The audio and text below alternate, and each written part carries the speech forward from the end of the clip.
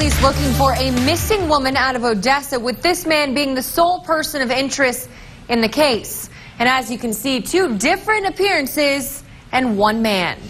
Now, again, the boyfriend is a person of interest in the case, known for being a criminal chameleon, someone who changes their physical identity often between committing crimes. Local 2's Jenna Sands joins us live in the control room with more. Jenna? Stephanie and Horace, investigators are looking for small details that help separate notorious criminals to help them stand out. Now, police do sometimes arrest and detain innocent people with no malicious intent, and it's all thanks to the doppelganger effect.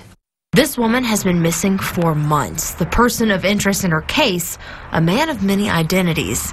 Notice the two photos look like two different people, but according to Odessa police, these photos are the same person.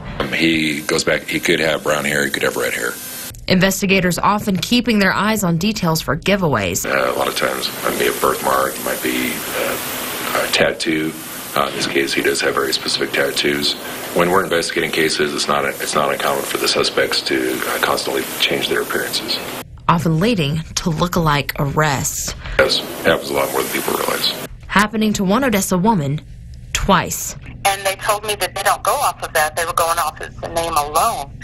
And my last name was such a common last name, it, that's kind of surprised me. Once during a traffic stop as a wanted woman with the same height, weight, and description, and another time during a driver's license renewal. Leslie Cipher says she was mistaken for another woman on the run for selling drugs.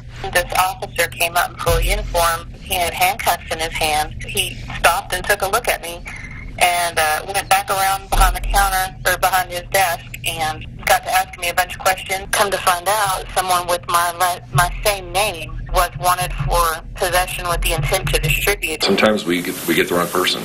Uh, that's why a lot of times we'll detain somebody, but once we realize, once we determine that we have the wrong person, then we'll quickly release them.